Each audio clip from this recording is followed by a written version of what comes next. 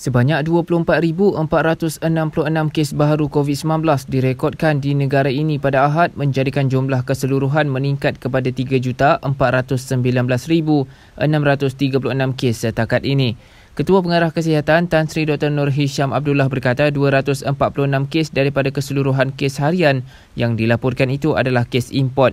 Beliau berkata 24,361 kes atau 99.57% terdiri daripada pesakit positif kategori 1 dan 2 manakala 105 kes atau 0.43% lagi pesakit kategori 3 hingga 5. Berdasarkan pecahan kes kategori 3 hingga 5, 25 kes tidak divaksinasi atau belum lengkap vaksinasi, menerima dua dos vaksin 56 kes dan sudah menerima dos penggalak 24 kes.